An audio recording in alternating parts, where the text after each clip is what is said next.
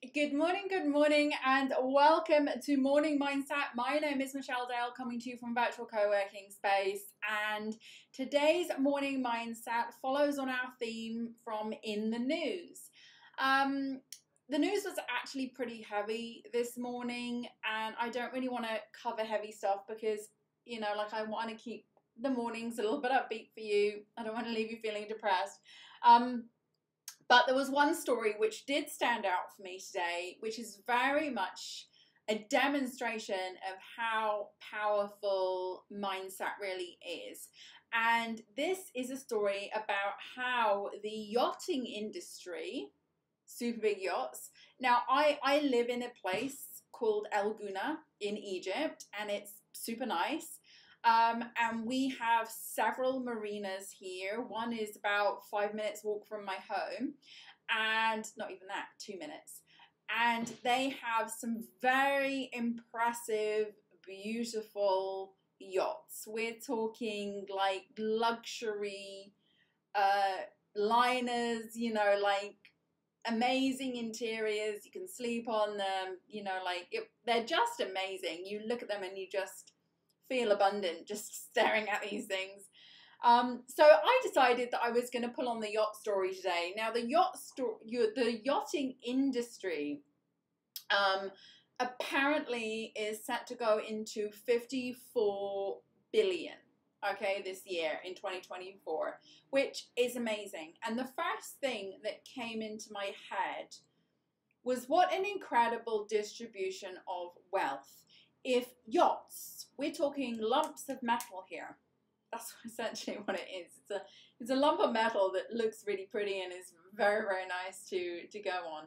You know like there is so much wealth to go around the universe that if we're sitting there in a lack mindset where a lack of distribution of that wealth of that you know just in the yachting industry alone 54 billion like how do we shift out of that and it was very interesting because as soon as i thought that like who has who has these yachts you know then it came up about who has them so apparently 50% of yacht owners tend to be from the United States. And obviously, in the United States, it's a developed country, so I'm sure that there is a lot of poverty in the United States, but there is also a lot of affluence and a lot of wealth. So, technically, in the United States, you can say that maybe people in America are more exposed to wealth than, let's say, Africa. And the other thing that really stuck out to me was the people buying these yachts. So the people who are using their $54 billion to buy these yachts are a majority, not all, but a majority self made business entrepreneurs. And that to me was super interesting because nobody out of those self made, and they they emphasize self-made, which was I thought interesting. Self-made business entrepreneurs, none of those business entrepreneurs essentially came out of the womb with enough money to buy a yacht. So they must have really worked on their mindset, their belief system, their goals, their vision. I imagine that if you went and interviewed these people who were buying these yachts, they imagined themselves on the yacht first before they just woke up one day and said, Oh, I'll go and buy a yacht today. No, they thought about the yacht. They'd probably looked at multiple yachts in catalogues.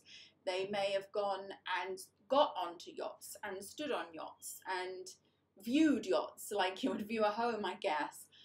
These you don't just simply wake up one day and go to the yacht shop and buy a yacht. You consider it, you give it thought, you look for docks where you can put your yacht, or marinas, you know, like where you can put your yacht.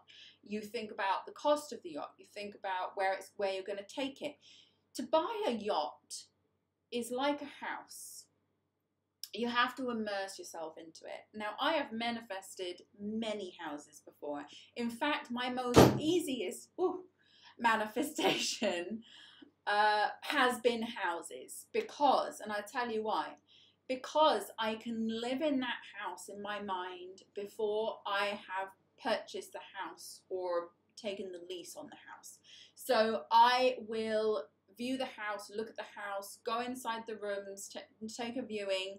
Then I will go away and in a notebook or a jot or whatever, I will plan out my life in that house, my kids' bedrooms, where things are go- going to go in my kitchen, where I'm going to put furniture in the house. I could easily immerse myself into that manifestation and it always comes. Like I've always been able to manifest the house. And sometimes without even seeing the house, first of all, I start seeing the house like, what do I need? I need five bedrooms. I need a big living space because I have a lot of kids and animals and things.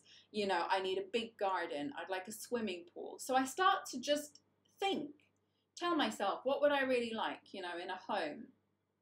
And then the manifestation becomes easy because then houses start coming into my awareness, the right house pops up, I go look at it, I decide I want it, and then I basically live in that house mentally and plan for that house logically, and then it's mine. Um, and I believe that the yachting industry people who are buying these yachts or the business owners are doing the same thing, and that's how they manifest getting their yachts. So, my the takeaway from in the news today in this incredible yachting story is that most people aren't born just with a yacht. Some people are, if you're super rich.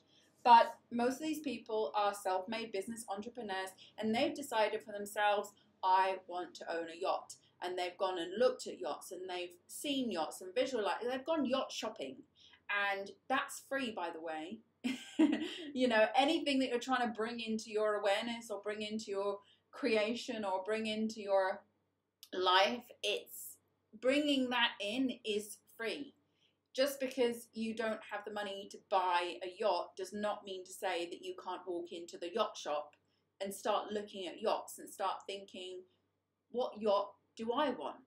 You know, what does my yacht look like? You know, you've got to think about it in the present tense. So if you want to manifest a yacht, now you know what to do.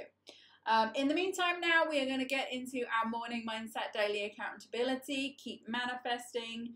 Um, I hope you enjoyed the in the news um, theme this week. It was sort of interesting for me to to sort of dissect how people, you know, in the news are, are, are there and what they're doing, and how things happened.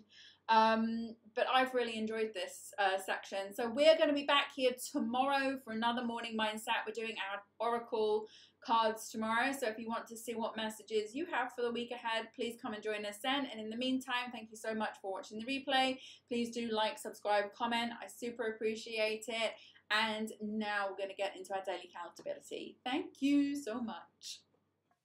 Before we begin, don't forget you can join me live online inside Virtual Co-working Space at www.virtualmissfriday.com forward slash VCS.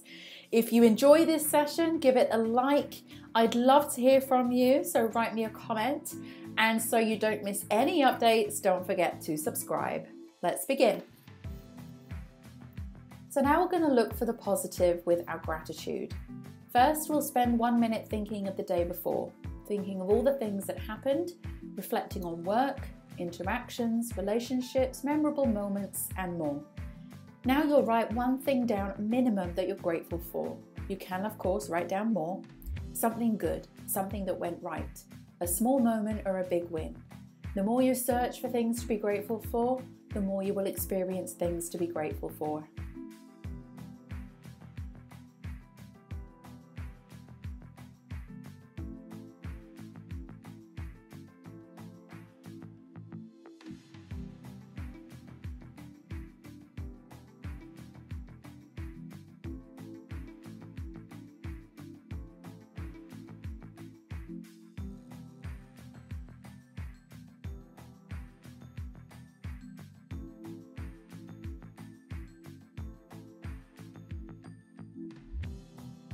Now we're going to read out your goal.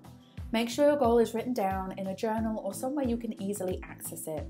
Read your goal now, ideally out loud, and commit to this goal. Believe it will happen. And by reading this daily, the universe knows clearly what your goal is, and the things begin to shift in the direction of your goal. Follow your instincts when this happens by taking action.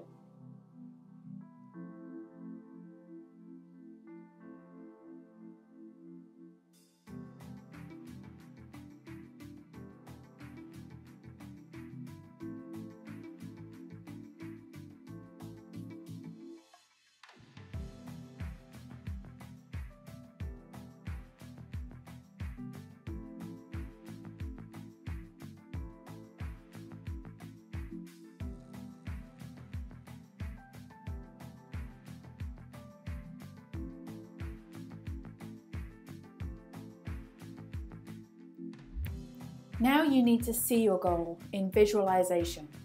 Spend this minute thinking about the goal in your mind. See yourself taking steps towards the goal, or even better still, see yourself having already achieved the goal. Close your eyes and go there. Step into the feeling, step into the place, step into the accomplishment.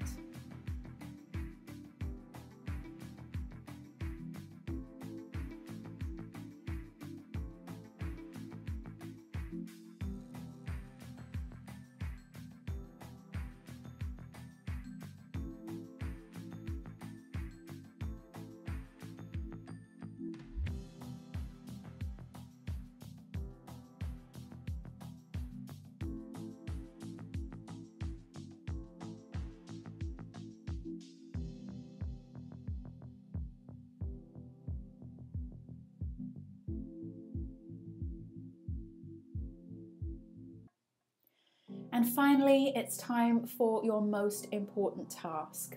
Set this task for today and make it relating to your goal.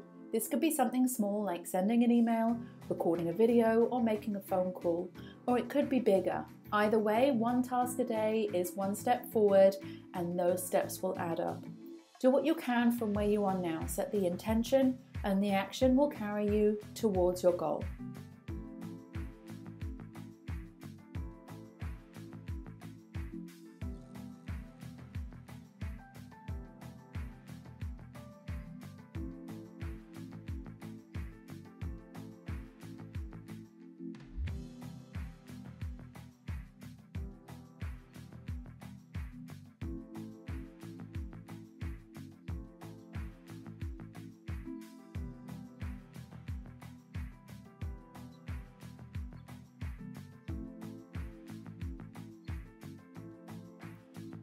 Well done, you, for completing your daily co create session. Have a fantastic day ahead, and I'll see you next time.